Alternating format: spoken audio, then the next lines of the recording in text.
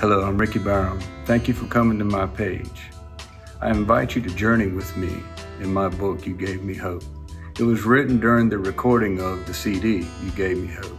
It contains the lyrics, the scriptures that inspired them, the sermons that I preached, and life stories. I believe it will encourage you and inspire you. It was motivated by the Holy Spirit of God. And I believe that it's my hope that if one person gets saved or one person is encouraged at all, it's worth it all. God bless you. Take care.